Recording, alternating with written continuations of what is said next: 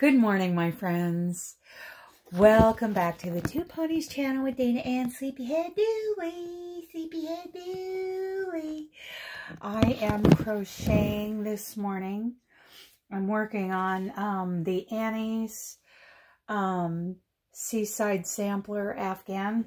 I'll be uploading a video about this kit club thing. There's what it'll look like done. So working on that.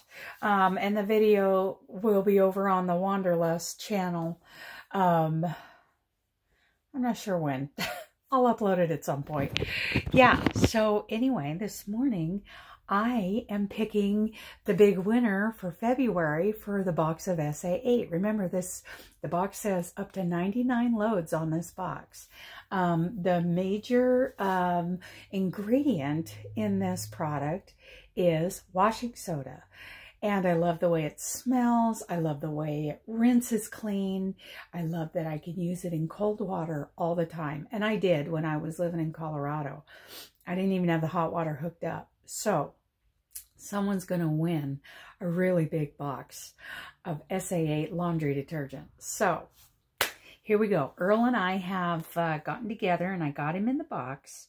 We had 74 comments and now, shake it, Earl. Shake it, Earl. Okay, Eva Zacharias. It sounds like a good product. I definitely would love to enter this giveaway. Thank you and drive safe. So Eva, you need to email me at the um, the uh, ddEquine at outlook.com email address. It's in the description box. And send me your shipping address and I will send this to you. All right, all right. I'm excited to have done this. Now, next month, it's going to be a double X product. I'm very excited about that. Yeah. Maybe I'll do a different product because I need to do some studying in my messenger kit.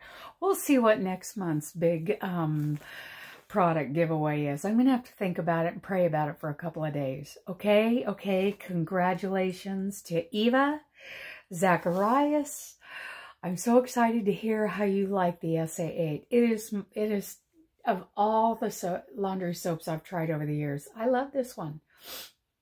Um, so get a hold of me and I will get that drop shipped to you. Okay?